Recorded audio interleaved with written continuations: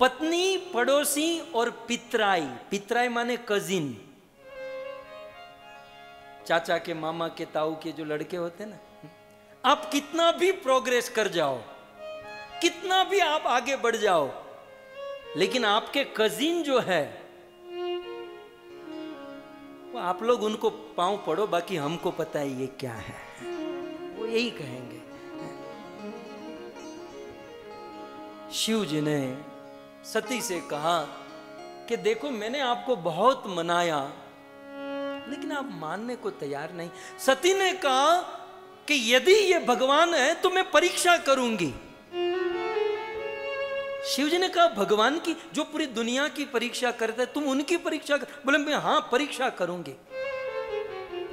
शिव जी ने कहा तो कराओ मैं यहाँ बरगद के पेड़ के नीचे बैठा हूँ, तुम्हें जैसी परीक्षा करनी है करो। सती भगवान की परीक्षा करने निकल गई। एक बहुत सुंदर बात, एक बहुत बड़ा सिद्धांत रामायण में प्रकट होने जा रहा है। हमारे समाज में, हमारे अपने, चाहे फिर पत्नी हो, पड़ोसी हो, पितराई हो, हमारी संस्था हो हमारे अपने लोग जब हमारी बात न माने तो ज़्यादा चिंता नहीं करनी चाहिए। शिव जी ने अपने मन में सोचा कि ये कैसी पत्नी है? मैं देवादिदेव महादेव, ये मेरी पत्नी, मैं इसको बारंबार मनाता हूँ, फिर भी नहीं मान रही, ये कैसी पत्नी? कुछ देर शिव जी ने ऐसा सोचा होगा, लेकिन फिर अंत में शिव जी ने एक सिद्धांत दे दिया। शिव जी कहते हैं हो सो। जो राम रचिरा होई सोई।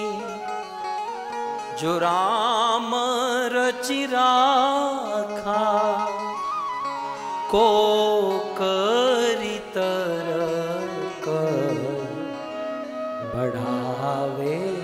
सा, को करी सा।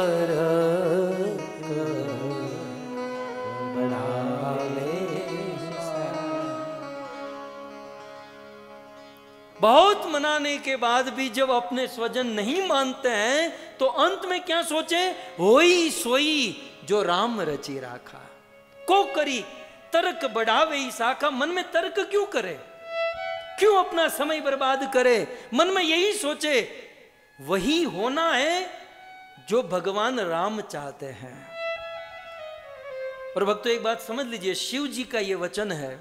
शिव जी ने कहा कि दुनिया में जो होने वाला है, वो भगवान ने पहले से ही रच कर रखा है। दुनिया का सबसे बड़ा बाजीगर ऊपर बैठा है। वो बाजी खेल चुका है। हमें तो केवल बस यहाँ से पास होना है।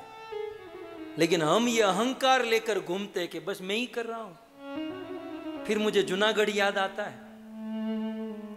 हूँ करो हूँ, करो। एज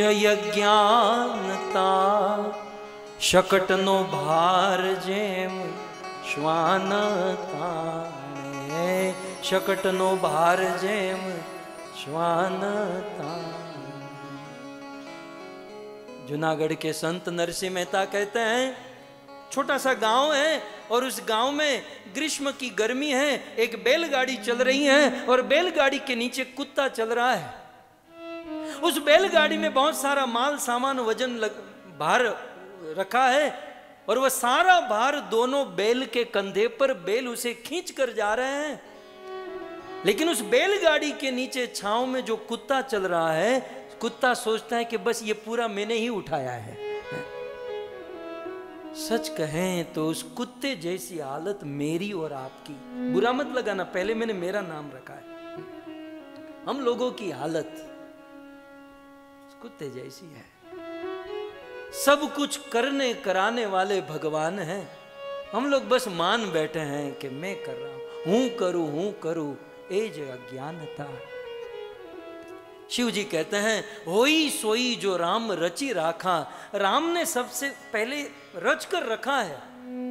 ईश्वर बाजी खेल चुका है। गीता में कृष्ण ने क्या कहा? अर्जुन, तुझे कुछ नहीं करना है। ये जितने भी खड़े मैंने सबको मार दिया है।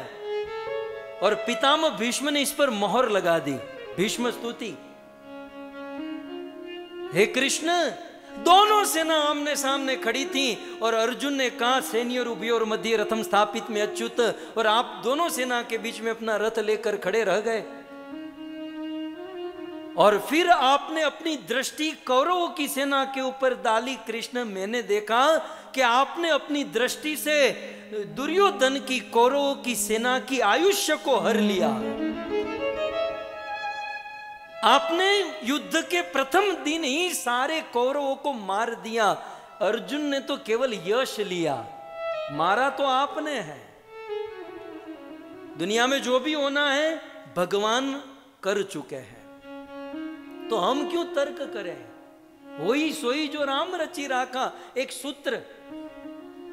यदि हमारे मन की इच्छा पूर्ण हो तो भगवान की कृपा।